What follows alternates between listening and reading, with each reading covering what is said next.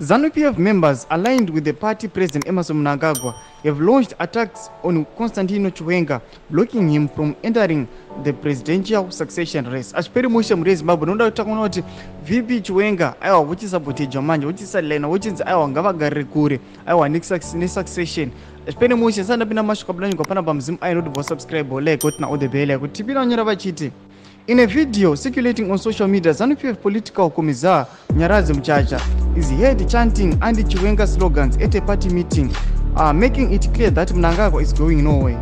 The two reportedly made a gentleman's agreement in 2017 when Chiwenga helped Mnangagwa oust uh, the late President Robert Mugabe in a military coup that Chiwenga should take over in 2028. Vanhu vaposta vhidhiyo sera muri kuona iroro.